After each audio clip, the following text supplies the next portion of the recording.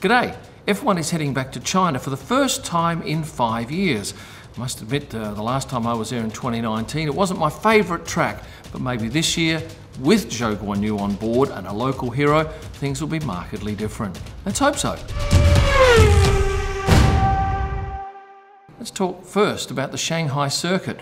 It's about a 45 minute drive from the centre of the city.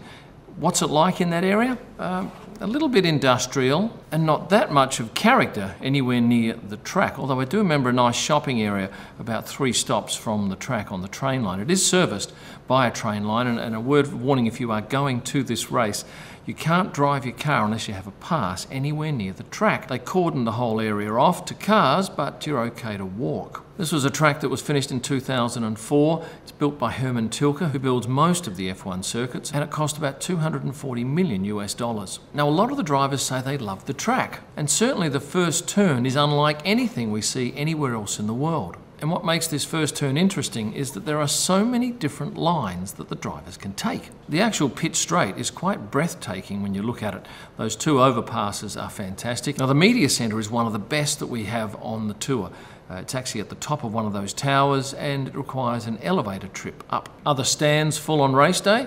I'm afraid not. And if you go on, say, the first practice day on Friday, the stands coming up to the hairpin have hardly anybody in there. And photography wise, that doesn't make for a great shot. In past years, they've struggled to sell tickets to this event, and so much so that uh, the stands at the far end of the track have signage on them promoting Jiading and Anting, which is the area that uh, this track is located in. I'm keen to see whether this year that signage comes off because Zhou's had such a huge impact that uh, we have a lot more spectators wanting to watch him. The weather at that time of year is typically cool, not cold, and we often get a lot of grey days, although I can tell you that we did have blue skies on race day for 2018. Photography wise, there are some nice shots. I particularly like the entrance to pit lane where you see all these buildings in the background. The head on shot from turn one is lovely.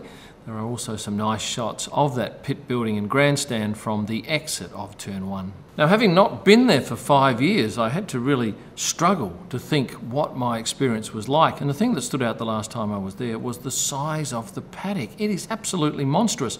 It's bigger by a huge margin than any other paddock we go to. And to be quite honest, it's a little soulless. In 2019, the Chinese Grand Prix was the 1000th race, so we had a little bit of signage on there. This year, though, I'm hoping they do a little bit more with it and uh, inject some personality. Uh, if you have a look at this shot, you're probably thinking, where are the hospitality suites? Well, they are buried inside these beautiful gardens and they sit above these little ponds. What that means for drivers is there is a very long walk from their hospitality suite to their garage, typically. Certainly the longest walk that we have at any track. Let's talk about the fans, and we do see a few of them roll up for the drivers' interaction on a Thursday.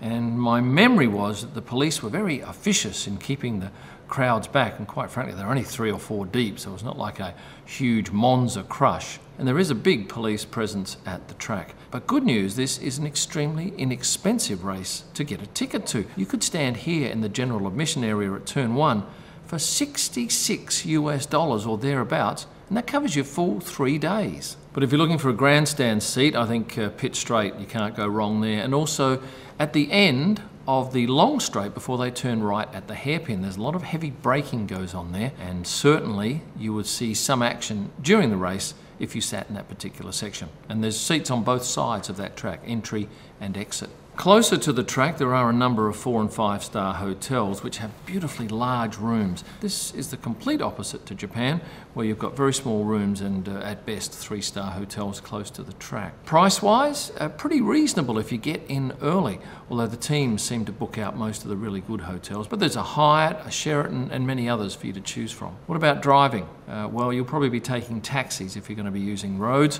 because unless you have a Chinese license or you're happy to sit a test, you cannot hire a car in that country. I found taxis to be readily available, but you must make sure that they turn the meter on. I was caught once before. Food wise, what is Chinese food like? Well, it's certainly different to the Chinese food that I've eaten in Australia, but I did find some great restaurants, particularly in the city.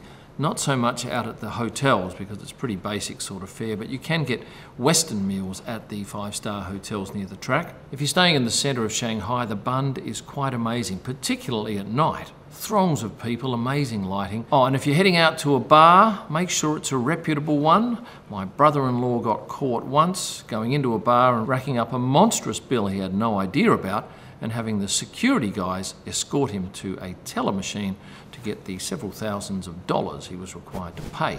Let's go back to 2019, the last time we raced in Shanghai. I remember Daniel Ricciardo, or Avocado as he was known, was very popular. I remember taking these shots of Valtteri Bottas. I was actually lying on the ground and Valtteri walked straight over me with a wry grin on his face. That year we had Pierre Gasly racing for Red Bull.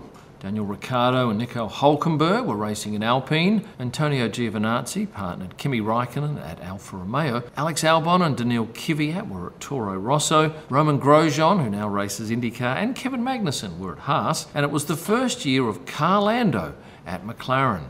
Williams wise, we had George Russell and Robert Kubica racing, and it was the first year that Charles raced for Ferrari alongside Sebastian Vettel. And don't these cars look so much different now? Earlier on, I mentioned a couple of nice shots. I neglected to tell you about these stock standard shots where the water gathers on top of these tyre barriers and allows us a reflection shot. And sometimes, if there's been no rain, yeah, we take our own water bottles out and fill them up. If you go back a year prior, 2018, I got one of the best photos of Daniel Ricciardo's Parc Ferme celebrations after he pulled off a win. Yes, we saw a shoey on the podium, and then he spent some time entertaining us media down in pit lane after the event. Now, one thing I can say with confidence is that you're not watching this video in China. Why am I so confident? Well, YouTube is not available in that country, which is a shame because the market is huge and the opportunity for growth in the sport is huge. My first year shooting at the Chinese Grand Prix was in 2017. It was memorable because FP1 was compromised a couple of times with red flags and then FP2 was completely cancelled because the medical helicopter couldn't land at the hospital, which was some 38 kilometres away. And while the visibility was fine at the track, it wasn't the case at the hospital. Having shot three Chinese Grand Prix, I would give it a D, primarily because of the grey skies, lack of atmosphere, and low fan turnout. But I am really hoping that I can bump that up to a C or maybe a B in 2024. Now, did you enjoy this video? If you said yes, please hit the like button. And uh, a lot of you, I'm thinking 50% haven't subscribed. Here's your chance to do it. And if you have a look here at all these different options, you'll find content, merchandise, and a whole lot of information about Formula One. Cheers, cheer for watching and 保持热情。 G'day. We're heading. G'day. F1. G'day.